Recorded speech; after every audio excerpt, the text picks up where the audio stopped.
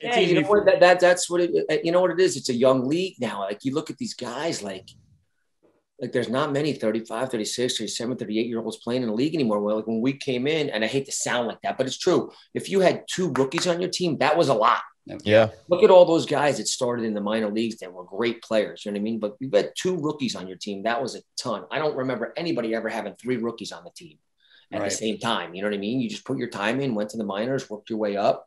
And obviously, there's always, you know, the, the top guys that, or no matter what, aren't going to start in the minors. But for, for the most part, everybody started in the minors. Yeah. yeah. Well, you know, that's, I was going to ask you about that. And it was a veteran league, you know? That, Yeah. Um, so you, you leave college, you obviously were a scorer. I mean, you, you put points up like crazy. You go, you go to Albany because like you said, they're not Started, yeah, my first two years were your first. Yeah. Utica. Sorry. I'm sorry. Albany, uh, Utica. And you actually had points there too. So, I mean, were you a first, second line player there? Yeah, you know what? so I came out.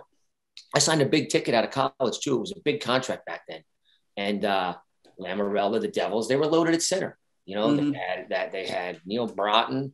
They had oh no, they had Bernie Nichols. They had Corey Millen. They had Bobby Holik. You know, and I can't forget the other. They were loaded at center. Started, and Lou was famous for starting everybody in the minors anyway. Right. Right. Scott Niedermayer, obviously different story, but right. Everybody else basically started in the minor leagues, went down there. You know, I, funny story, Herb Brooks. So Lou hires Herb Brooks because there was about seven or eight of us that panned out from the 1987, 88, 89 draft. And Lou brought Herb Brooks in to be our head coach in Utica, New York. I mean, come on, Herb Brooks, he's not going to be Yeah, one year, right. right? Tom McVie was our the head coach for the Devils. Yeah.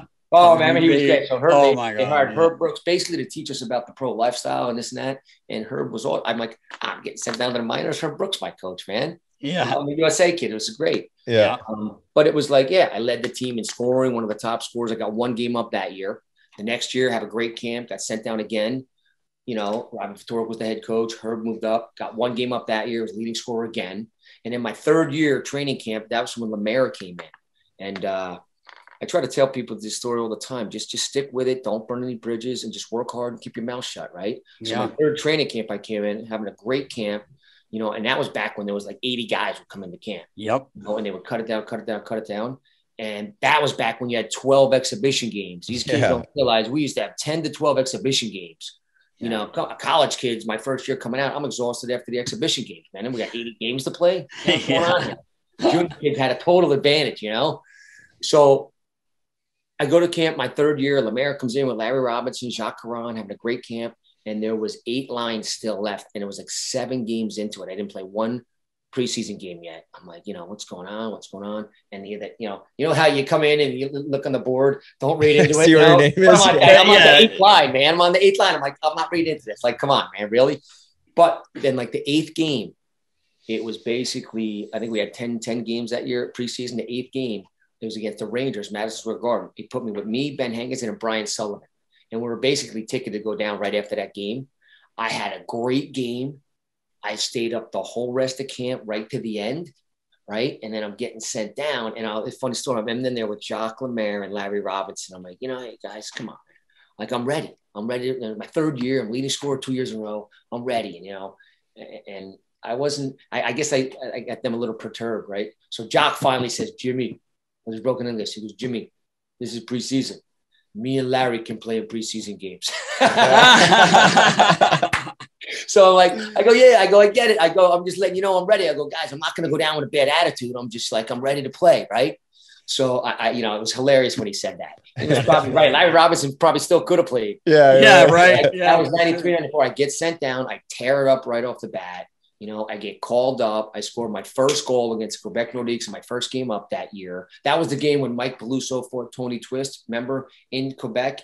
And Mike Peluso's helmet came off and they're on the way down and Twister hit him one more time. Yeah. His head hit the ice. Oh, I remember Uh, that The building went silent. It was crazy. That was my first was game. first game up that year and I scored a goal.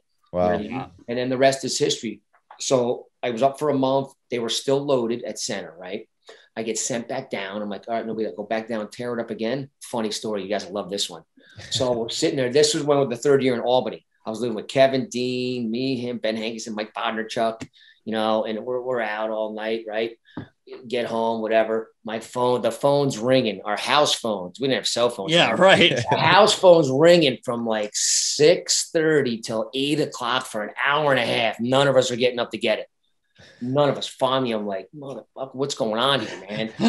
I, I, pick up the phone, like basically no sleep.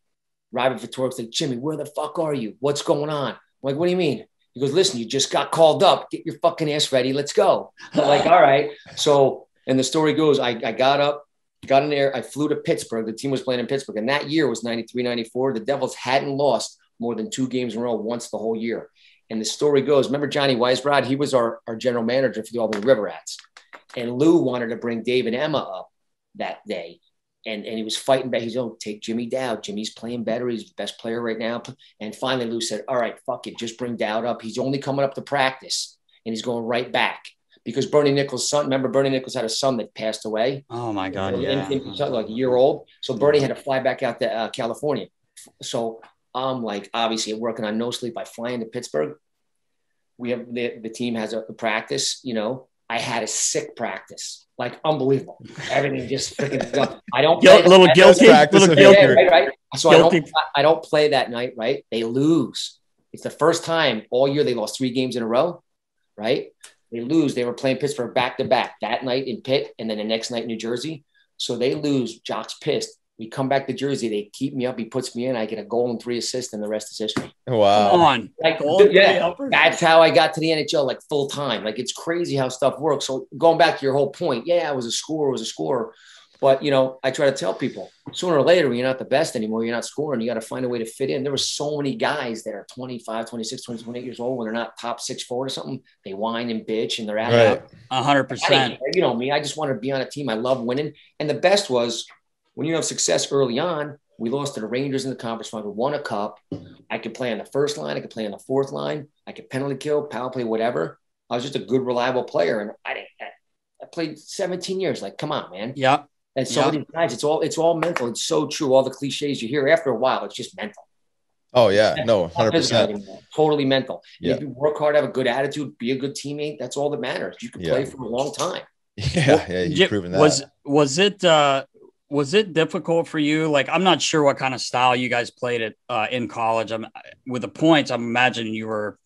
Uh, uh, you know, they, they, were. You know how uh, it's it's. You know when everybody called the Devils the trap team and all that. Yeah. They called us a clutch and grab team at Lake State. But um, come on, man, we destroyed everybody. Well, I was going to say your the points. I mean, your points alone are like.